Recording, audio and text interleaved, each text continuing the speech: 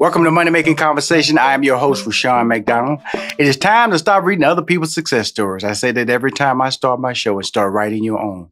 I always tell people leave with your gifts or your passion and don't let your age, friends, family, or coworkers stop you from planning or living your dreams. The interviews I bring on Money Making Conversation are people who are successful, so we learn the secrets of their success. My next guest I've had on the show before, I met him during the pandemic. I'm tell, watching Netflix. He's Rodney Scott. Rodney Scott is James Beard Award winning chef, pit master, and founder of Rodney Scott's Whole Hog Barbecue. Operating restaurants in South Carolina and Alabama, Rodney has continued to expand his acclaimed brand of South Carolina style barbecue and has been featured on popular TV shows, including The Today Show and Netflix series Chef's Table Barbecue, among others. There are plans to expand into Atlanta. We're going to talk about that because, you know, you come down to Atlanta, you know I got to roll down there and give me me some fixins. I, you know, it's barbecue, then there's fixins, because I'm from Houston, Texas. I know about them fixins, as well as two more locations in Alabama this year as well. He's here to talk about his first book, cookbook. I got it on my desk. Rodney Scott's World of Barbecue. Recipes and perspectives from the legendary pitmaster. That's my man right here. He's on the show. Please welcome to Money Make Conversation, Rodney Scott. How you doing, Rodney? Man, I'm doing great. It's a pleasure to meet you. It's a pleasure to be here pleasure to speak to you again, should I say? And uh, we've we've survived so far in this pandemic, man. We're, we're gonna get past this. Hey, Rod, you know, man, the, when I first called, man, I just saw you on Netflix, man, and it was uh, it was a it was a interview of, of just joy because uh, I got a slice of, of a, of, it, it, humanized you. You know, you know, you know, you people in the kitchen, they, they, they chef, they barbecue and they, they, they, some of them talk noise, some of them are humble and, and just watching your story, man, how, what, how, what was the impact of your appearance on that Netflix series, Chef's Table Barbecue on Netflix last year? Man, that, that, that appearance on Chef's Table was a huge impact on our business. Um, a huge impact on on our staff as as well as me as a owner, co-founder, uh, a human being. Period. You know, it's it, has been an amazing ride. It it, it kind of made me go to the back porch, sit down, and to suck it all in. You know, take it in mm-hmm. slowly and enjoy the moment because a lot of people they skip over it, and I wanted to savor every moment that I could. It, it changed my life completely. Well, it changed my life from a standpoint of just watching an African American man. Um, because, you know, it's really interesting how we look at business and how we look at what is success and what you can do. Because you're an entrepreneur, you're a businessman. And sometimes people yes. see, they don't see that lane. They just see you as a barbecue guy, a cook, or a chef. But you run a business, you employ people. And so you can get stereotyped when people say, as a career, this is a career for you. This is a you're that you're making money. You're you you you you have boys. You have a beautiful wife, and you have you're sustaining a, a very positive lifestyle, and it's a career for you. So, do you get caught up in the stereotypes of people thinking, "Oh, he's just a barbecue guy"? I do get caught up as just being a barbecue guy.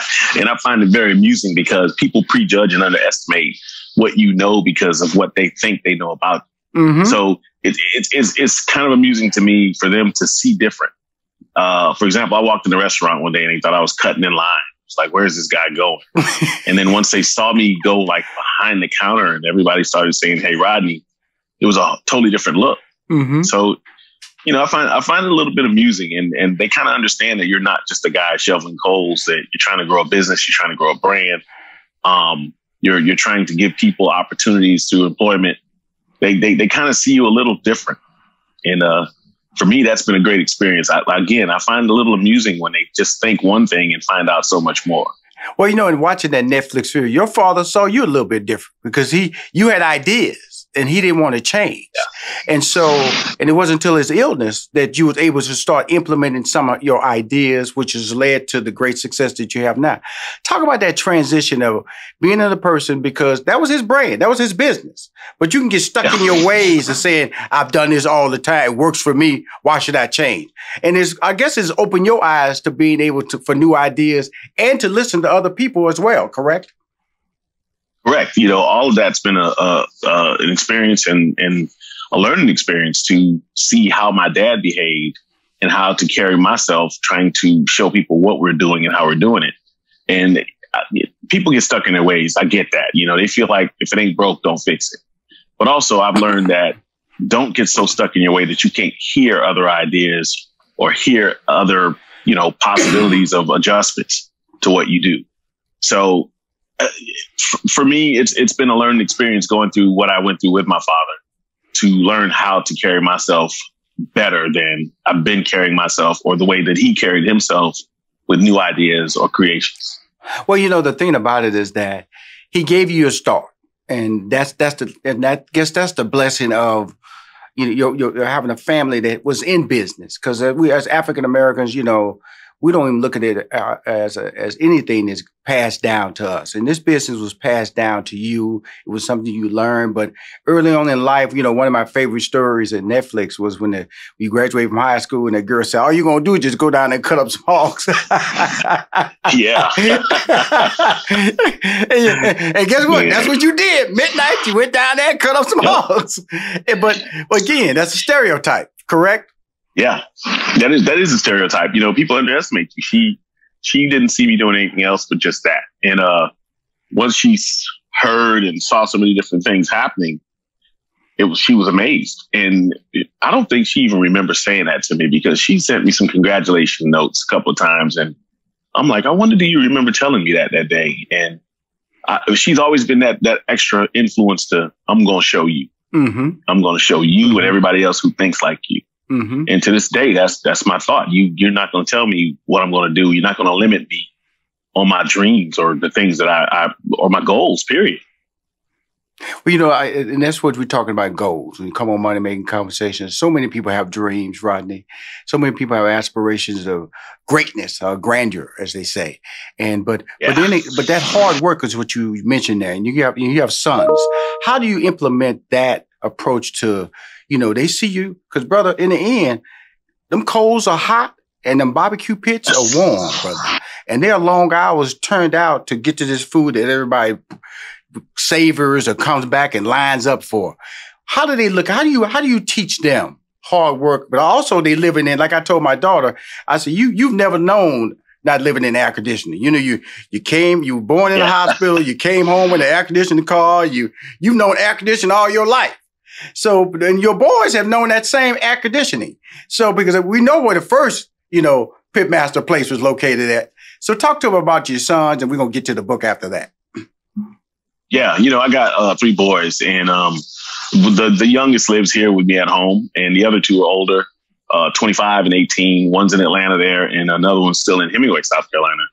And the youngest one here with me, 12 years old, just yesterday, I was telling him, I was like, look, here's what we got to do to get to that great burger.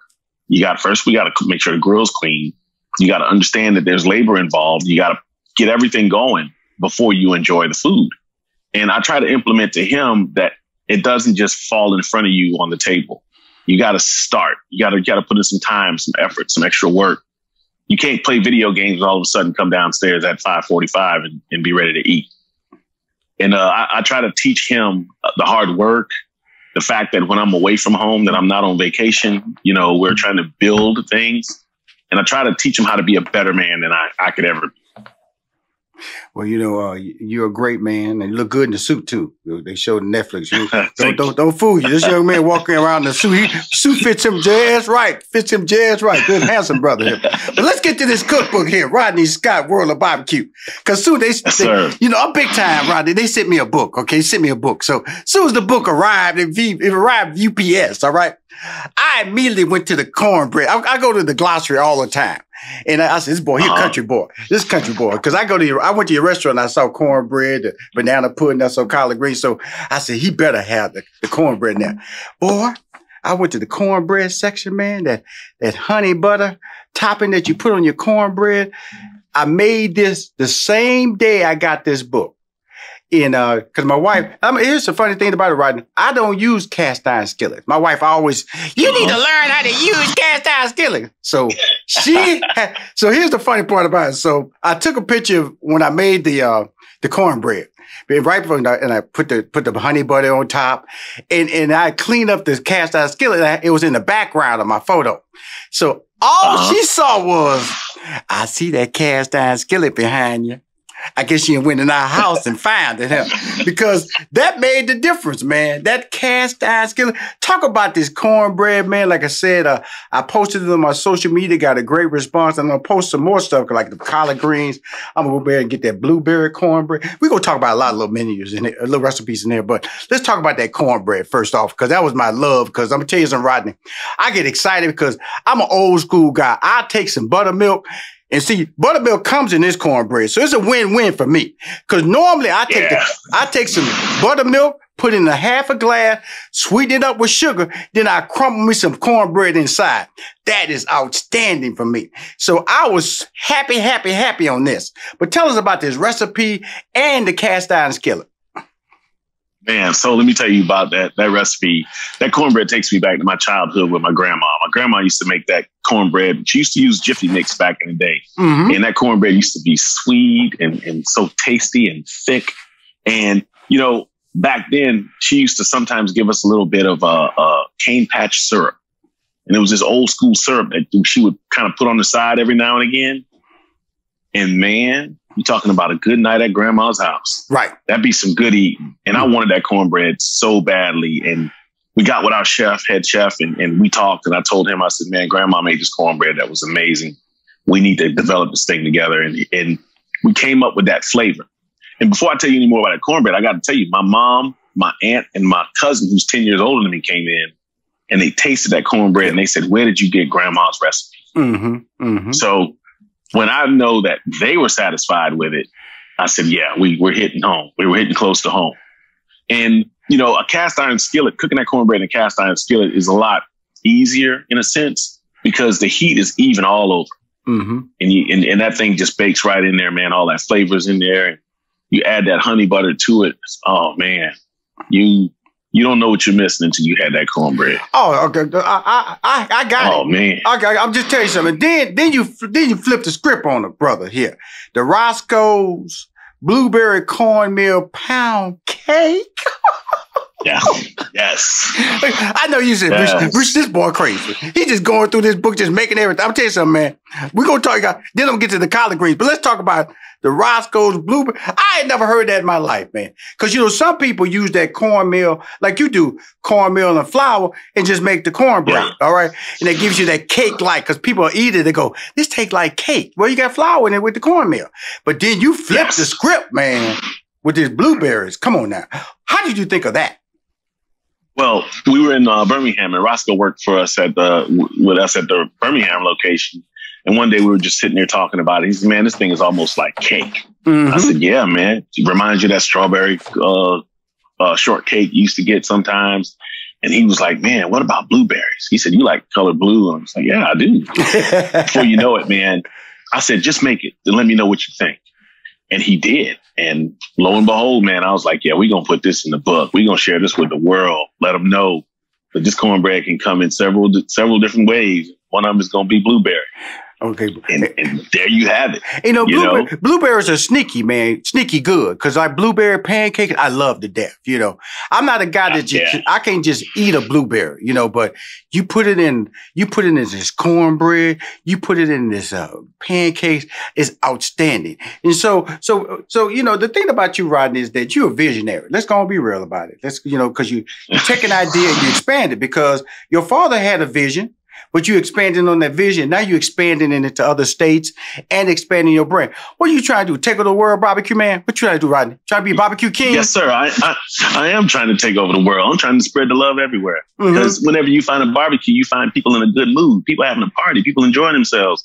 So I was like, why not spread this love all over the world as far as we can? You know, right. if it if it's me, it's absolutely great. If it's somebody else, it's, it's just as good. Mm-hmm. You know, let's let's let's put it in as many places as we can. And every time I think about, should I do it in this state? Should I try it in that state? And I, I say to myself, why not? Just, just let's do it. Mm-hmm. And, and my goal is to spread, spread this love, this Rodney Scott whole hog love all over the world. And, and I hadn't stopped dreaming yet. You know, I'm, I'm going to keep on dreaming. But the, the beauty of you now is that you, you're a celebrity. Okay, uh, you know, I, you walk down the street, people recognize you walking, especially when you walk in your establishment. They know that's Rodney, that's Rodney. So, yeah. so, so being a celebrity means you have a brand, social media, you post things, people engage with that. Talk about that. you know, and that means other people have. everybody has a bright idea for you now. You know, back in high school, then I have no idea for you at all. Everybody has a bright idea for you because you were just that, that, that, that's riding here in that barbecue stand. He ain't about nothing. But now everybody got a great idea for you. How do you slice through that? Tell us about your team, your team that keeps you focused, that keeps you organized, and keeps you on point. Oh man, I got to tell you about my team. My team is amazing, and we got age groups that's even better. You know, Nick Pihakis is my my partner in this thing. You know, we came up with the idea. We sat at the table. He was like, "Let's create a Rodney Scott." And I'm like, "Man, you crazy!" And little did you know that I would ever do it like this. And, and we decided to do it. And along with Nick, his son Nicholas, and my man Paul Yeck, our head chef, we we put our heads together and we just kept coming up with these thoughts and ideas. And they helped to keep me humble to not worry about every little thing. You know, when I say, hey, man, I got to run over to such, such place and check this, they'll say, I'll do that for you. We got that. You take your time and focus on what you're doing. So they've made it well rounded for me. Uh, Nick has this thing he called the balancing wheel, where you have yourself, your family, your finance, your business, your brand, and you got to balance that thing out. You know, you got to stay healthy in order to stay in this whole operation and, and enjoy it at the same time. So we all make sure that we balance ourselves, our personal lives, and everything together. And this team that I have, they make sure that all of that's perfect for me. That that my background with the restaurant and my personal life don't ever, you know, one doesn't ever take over the other. Right. So they they've been super great with that. You know, it's really important that we talk about this, you know, and uh, thank you again for coming on Money Making Conversation. I'm talking to Rodney Scott. He is the king of barbecue. I know it. I, I, got my boy Kevin Bludso in L.A. You know, he ain't riding this guy. this is my boy, right? Riding this guy. He out there populating the states, the cities with the with the whole hog, the whole hog. Now tell us, what is the whole hog? Come on now, Rodney. You brag about it. I see it on TV. I can tell you right now, I'm not messing with that whole hog. Tell us about the whole hog experience, why it is on fire, why it's popular when they go to these uh these barbecue shows, these competitions. Talk about the whole hog, and then talk about South Carolina style. What makes that different? You know, that whole hog is is we we like to describe it as a difference you can taste. And you know, you go to certain restaurants, you'll see that they have shoulders or hams, and that's not the whole hog. When you get uh the ham, the loin, belly meat, and some shoulder meat all mixed together, and you put it in a bite, you you you got that whole hog right in the palm of your hands. You're mm-hmm. tasting every corner, every cut of that whole animal, and it's a different taste. And it is a difference you can taste once you taste the whole hog and you go back to a shoulder. You you kind of understand what I'm trying to explain. And the way that we did it in South Carolina, we did the whole hog with vinegar and pepper. Right. See, I grew up on the southeastern part of the state, closer to the coast. And vinegar pepper is the thing over there. And, you know, we use the white vinegar, the crushed pepper, pepper flakes, as some people will call it, uh, black pepper, cayenne, some sugar. That's basically the sauce that we, we put together in that part of the state. And in South Carolina, man, you can go to Hemingway right now and, and say, I need a whole hog cook. And 20 people might jump up and say, I can do that. That's what we did in my area. That's what we did growing up. And, you know, I, I've traveled in different places and people say, how do you cook a whole animal? They, they're amazed by it. And mm-hmm. my whole thing is, look, if you can't do it, I'll show you. Let me, let me do it for you. And before you know it, they find out how many people can eat from it, how many ideas can go around it. You can put grits and pork together. You can build a taco with this thing. You can, I mean, you got all these options with this, with this whole hog. So it's always been a treat and a, and a big thing to do in my area. And when other people see it from different regions, man, they're, they're amazed by it. Well, first of all, I'm amazed that because I, I am from Houston, Texas. So I got a, a, nephew. He has a barbecue stand, real popular called Big Six Barbecue in Houston, Texas. Talented kid, makes his own sausage, and um and I and I tell him to follow you. I tell him what my man Rodney, watch what he does. It's and he's a he's doing very well in the Houston market. Now, but back to you in regards to what I see you do, you expanding now in Atlanta market. Now you skipped all over and went to Birmingham. You know, you went from South Carolina, skipped over Georgia, and then Alabama. Now, now we sit down here in Atlanta. Now, I'm kind of wondering when I'm gonna get the whole hog experience when I could just drive to it, not just order via mail or UPS or FedEx. Tell us what Atlanta experience. Talk talk to us now, brother. When you coming, right? Atlanta. Atlanta, I'm trying to get to you as soon as possible. I've been trying to get there since last year, but here we, you know, here's a new year where we're coming. We're a lot closer. Hopefully by this summer, we're counting on July if we're lucky to have things open at 668 Metropolitan Parkway. Um, the building is looking great. Uh, most of the construction is in. Um, we're, we're trying to get the windows in, the furniture going, and those guys are out there. They were they were getting it. And this was last week when I checked on them, so they're making some progress. So we're trying to get that whole hog to Atlanta at least by the summer. Hopefully, no later than July. Now, now, can one order things on the mail or through FedEx, or do you ship? Talk, talk, tell us about the whole operation now. I know you're based in, in South Carolina and Alabama, but can we order, go online and order things, get delivered to our house? Uh, you can you can order our food online. Mm-hmm. Uh, not our food itself, I'm sorry, but our rubs mm-hmm. and our sauces are available online now. Our t-shirts and our, some hats is what we have available online right now. We're trying to work on that process of seeing about getting the food kind of where you can order it and we ship it to you overnight. But you know, I want to make sure though, you know, a lot of times that when, when you send your food out, you want it to be right. You don't want it to be shipped out there and ain't, ain't, you're not ready for it. Right, so. right. You know, that's very true because it's like the experience because you know, a lot of people microwave your, your, your barbecue, you know, oh, it's tough, you know, yeah. and then because you got to tell people how to do it, you know, you got to put it in the oven, put a little water underneath it, you know, make sure yeah. it stays juicy and stuff like that. But you, you, you send it across, you know, they're to microwave, they're going to zap it. They're gonna zap it. then they're gonna go get some of that barbecue salt that they got from Kroger's. Not saying barbecue, you know, that ain't your sauce. Next thing you know, they yeah. got that on there. So you try to maintain the right stuff because of the fact that that sauce. Now, I would tell you, right before my interview, I dropped in a, a baked potato. See, I'm just telling, I just love this book. This he, he has a book. It's the, the loaded baked potato. I've dropped it because it's gonna stand there for an hour, put it at 400 degrees. I'm gonna tell you how I do it. And so, but I do, but now you, the great thing about it is that in your book, you tell us how to make the Rodney's white barbecue sauce. Tell us about that white barbecue sauce that I'm gonna put on this so baked white, potato. Come on now that, that Rodney's white barbecue sauce, it was like, hey, you plan to go to Alabama, you need a white sauce. And I'm like, man, you know, we'll get to that bridge when we cross it, you know? And all of a sudden we decided, you know, can, can we make a twist on this sauce? And I was like, yeah. And, and we decided to make a, a white sauce with, with the South Carolina touch to it. And, you know, that sauce is great on chicken. And in Alabama is where I learned that white sauce is great on chicken. And the first thing I said was, we got to have something for the, the person that loves white sauce. And, and, and here it is, man. And we put it in the book. Man. And then, uh, and then I close, I got to close. It's, it's, it's, well, first I want to tell people it's a cookbook and it's a story. And so I know I just been staying on the recipe side of it, but it's also a great read about your life, the important people in your life, the, the, the, the transitional moments that you had in your career. Why was it important not to do a cookbook, kind of like memoir. It's kind of like a, that's what it really is. It's about different perspectives in your life that were very important to who you are today, instead of just doing a basic cookbook, Rodney. Well, you know, um, when we were writing this cookbook, uh, my man Lolis Eric Elie, hats off to this man. He he walked me through the steps of helping me write this book, and uh, we were just we are just going over everything. And I said, you know what? That recipe at that time had to do with me being a child at this age. And we started telling a story about each recipe. And in telling that, I was like, yeah, but that I remember that day didn't go as great. And before you knew it, we were talking about my complete childhood. Mm-hmm. And and he was like, wow, you know, you you gonna tell this story? And I said, yes.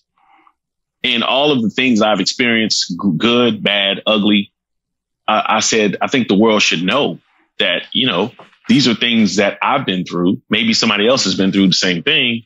And hopefully they can learn from this and feel better about their situations to move forward, carry on, to be optimistic about whatever things you encounter.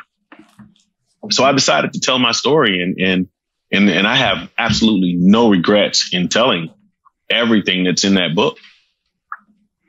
Well, the thing about the beauty of this book is that a little, little background about me is that I, you know, during the pandemic is where I met you during the pandemic, during an interview on Money Making Conversation. I bought a, a building in Atlanta and it had this one acre property. And my, one of my dreams was I wanted to have my own vegetable garden. uh, on my property at my office because I got a, a, built-in kitchen and I'm launching my show next month called Rushion's Kitchen. So, you know, I'm gonna cook a lot of recipes. When I cook your recipe, I'm gonna have your book sitting right there, tell everybody this came straight out of Rodney Scott's World of Barbecue book right here. Credit given. That's how I do it on my show. And so I have a, I got lettuce back there. I got the cherry and the beefsteak tomatoes. I got okra back there. I got seedless watermelon, row of seedless watermelons. I got my parsley and I got my cilantro and I got my uh collard greens. So and my jalapenos. Can't forget the jalapenos, yellow and white onions oh, yeah. as well for my pico de gallo because I'm a Tex-Mex food. Now, so when I saw your book and I saw collard greens, I just smiled, knowing that I'll be pulling my collard greens right out my back of my building, bro. Woo! Tell me, Rodney, you, you said, did you, did you put the Rodney, the, the, the sauce on top of the collard green? Tell us about that, man. Come on, brother. Mm-mm-mm. So me growing up as a kid, collard greens was not one of my favorites. So I always, I always wanted to, uh, uh, stay stay true to the barbecue game and the sides that come with the barbecue game. Mm-hmm. And my, my, my partner Nick was like, "Hey, dude, you got to put collard greens on this menu." I said, "Dude, I'm not I'm not a fan of collard greens." and he says, "How do you how do you know if you never had your greens? You need to create a flavor that you enjoy." And I'm like, mm-hmm. "Man, I'm telling you, I don't like no collard greens, but I tried it so many times growing up." And he said, "Well." Look at the list of ingredients that we think that you should put in there. And I looked it over and I was like, you know, I'll try this thing. And before you know it, I tasted those greens with that sauce and that pork. And I said, you know, I could do this. And I, I was surprised. The first time I ever tasted it where people could see was on that chef's table. Mm-hmm. And mm-hmm. I was like, oh man, okay. I've been missing out on these collard greens for a lifetime. And I said, we need to put this in the book. We need to put these greens in there and they smell like the way my mama used to make them. Mm-hmm they I guess they taste like my mama would make them. ham hocks. and got the ham hocks in there, baby. yes, sir. You know, put that whole ham hock in there. You do, you know. and uh when when we did it like that, I was like, okay, these these are not so bad. And I wanted to make sure and put them in there to hopefully inspire some kid to taste those collard greens growing up. I'm gonna tell you something, man. Uh, Rodney, I enjoyed talking to you. I also got uh, some cabbages planted out there, so I'm gonna do the coleslaw is in the book Ooh. too. So you you already know I'm, I'm, gonna be this book gonna be like kind of dirty when I finish with it. You know, after this summer. That's what I want. But be a good dirty. dirty. I want some memories in there. You know, I want you, some memories for you in that book, not mm-hmm. just nice and pretty on the shelf. Open that thing up.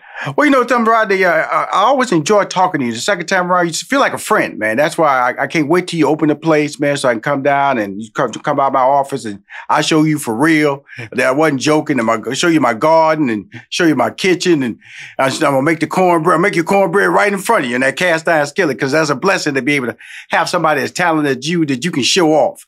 He said, that's me showing off to you. You know, I can do this, brother. You know, come on, thank you, brother, thank you. But more importantly, man, your book's amazing. Rodney Scott's World of Barbecue. Thank you for coming on Money Making Conversation again, Rodney.